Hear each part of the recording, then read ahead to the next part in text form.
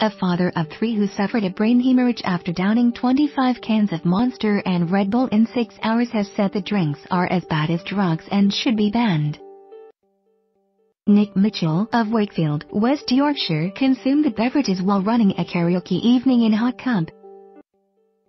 Later that night Nick was rushed to hospital after he woke with a painful headache. Doctors at Dewsbury and District Hospital told the 56-year-old he was suffering from a severe caffeine overdose while a CT scan highlighting a bleed in the brain. Divorced Nick father to Joshua 22, Joanna 27 and James 30 was taken into surgery in June 2010 where he was warned that more than 50% of patients usually suffered another hemorrhage within 12 hours, some fatal. The heavy-duty plant mechanic endured a number of frightening mini-strokes which left him unable to speak due to the lack of oxygen to his brain. I had three in the space of a week. These drinks nearly killed me. I was so close to death and thought I might not make it through surgery, Nick told the Sunday People. They should not be sold. They're as bad as drugs and should be banned, he added. The father of three still suffers from word blindness where he struggles to articulate his thoughts.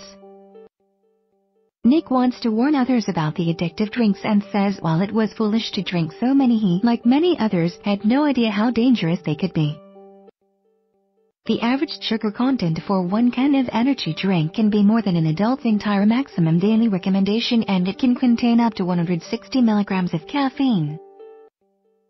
A Red Bull spokesman told the Sunday People, one 250 milliliters can of Red Bull contains 80 milligrams of caffeine. About the same as a cup of home-brewed coffee. The European Food Safety Authority has stated that caffeine intake of up to 400 milligrams per day 5 250 milliliters cans or 5 cups of coffee does not raise safety concerns for the general healthy adult population. Monster Energy didn't comment.